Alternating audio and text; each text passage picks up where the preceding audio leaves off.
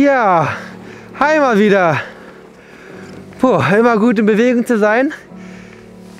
Ich möchte mit euch heute hier im wunderschönen Start beim Snowbike Festival ähm, ein wichtiges Thema besprechen, was ähm, viele von euch betreffen wird in Sachen Tech Talk, weil ihr schreibt in die Kommentare ja häufig auch mal Fragen, du Marc, passt dieses eine Fahrrad für mich, kann ich das kaufen? Und oft ist die Frage, welche Größe passt eigentlich zu mir?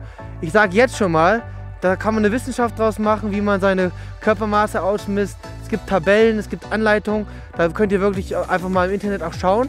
Ich möchte euch mal an meinem Beispiel zeigen, wie unterschiedlich das sein kann und ein paar Aspekte geben, wo ihr merkt, man sollte wirklich auf Probe fahren, um dann rauszufinden, welche Größe passt. Und zwar geht es darum bei mir, ich bin 1,75 groß, das heißt so mittlere Größe, ähm, habe eine große Auswahl an Fahrrädern, also sehr kleine oder sehr große Menschen haben natürlich oft Nachteile, weil es gar nicht so viele äh, Modelle gibt, die passen für sie. Ich kann wählen in allen Größen, allen Geometrien, die ich haben will. Aber ich muss entscheiden, fahre ich Rahmengröße M oder fahre ich Rahmengröße L. Also ich bin quasi zwischen den Größen. Und das ist mir schon häufig aufgefallen. Ihr kennt natürlich meine Bikes, die auch unterschiedlich sind. Ich habe jetzt hier ein super schönes Track, Fat Bike Fully. Ähm, genial jetzt hier beim Schnee, macht eine Menge Spaß. Und ich habe mir den Rahmen angeguckt und dachte erstmal, oh, das sieht aber ganz schön klein aus. Es ist aber ein M-Rahmen, 17,5 Zoll. Ähm, das heißt, jetzt macht natürlich viel die Geometrie aus. Das sagt erstmal nur aus, wie lang ist die Sitzhöhe. Und das passt für mich eigentlich ziemlich gut, so 17,5, 18 aber es ist eine sehr verspielte Geometrie. Jetzt ist der Punkt, die Hersteller haben sehr unterschiedliche ähm, Angaben. Und zwar bin ich auch jahrelang für Polygon gefahren. Ich habe auch Polygon-Räder immer noch.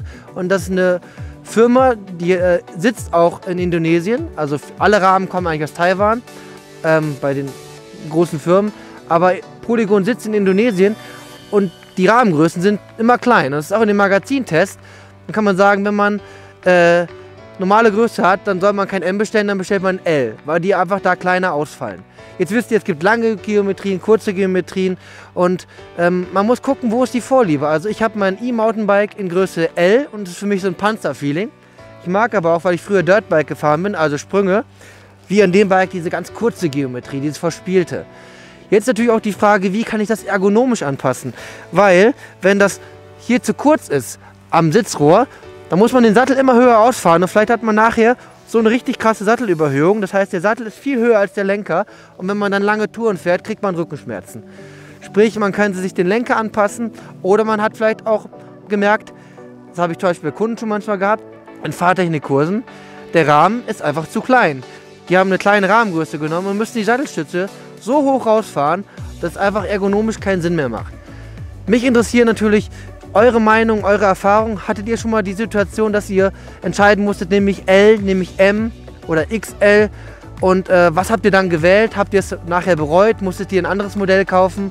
Das ist natürlich auch gerade eine wichtige Sache, wenn ihr Freunde, die jetzt gerade neu im Bikesport sind, beratet, dass die wirklich nicht irgendwie beim Händler sind und der will gerade das eine Schnäppchen noch verkaufen und dann verkauft er jemanden ein Rad, was eigentlich von der Größe gar nicht optimal passt. Gerade Oberkörperlänge, Beinlänge, sowas variiert individuell extrem. Deswegen sollte man da genau hinschauen, dass man nicht den Kauf nachher bereut. Es gibt mehrere Variablen, die ihr noch habt. Und zwar über das Cockpit kann man viel einstellen in der Ergonomie. Man kann ähm, die Länge und Neigung des Vorbaus und im Lenker den, äh, den Rise und den, den Backsweep, also wie, wie da geht er nach hinten. Äh, das kann man alles individuell wählen, um wieder anzupassen. Das mache ich an meinen Rädern in der Regel auch. Und hier am Sattel äh, viele Sattelstützen haben so einen Versatz nach hinten. Da muss man auch schauen, das ist jetzt hier nicht der Fall, aber das werdet ihr in eurem eigenen Rad vielleicht sehen. Und da kann man auch über die Schiene hier am, ähm, am Sattel auch noch ein bisschen die Position optimieren. Ja, dann schreibt mal eifrig in die Kommentare, seid ihr zwischen den Größen oder ist es für euch eine einfache Wahl? Ich freue mich aufs nächste Tech Talk Video. Wir sehen uns. Bis dann.